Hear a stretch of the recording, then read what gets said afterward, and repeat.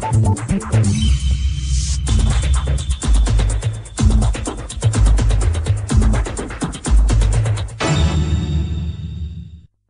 Bonjour à tous les auditeurs de vipradioonline.fr, la radio web de l'association RVPB. Vous écoutez notre spot radio spécial 18e journée des livres et écrivains de Provence et du comté de Nice qui a lieu le samedi 9 mai 2015 à Saint-Laurent-du-Var de 9h30 à 18h, place Castillon.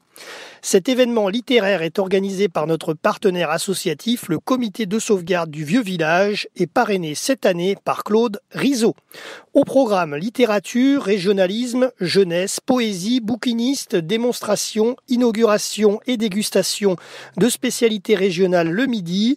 Une soixantaine d'auteurs seront présents pour ce salon du livre de Saint-Laurent-du-Var, dont Laurence Marie de Lobette avec son livre Les traits d'union de mon existence, Laurent Cabiac et son stand de livres jeunesse chez Pixigraph Édition, Muriel B avec son livre J'ai suicidé mon boss, le stand des éditions RIC avec ses auteurs Sergei Kolesnikov, Carole Maire, Alessandra Viotti et euh, son livre jeunesse La colline des violettes, premier opus de sa collection Les aventures de Simon, et Patrick Lecointe.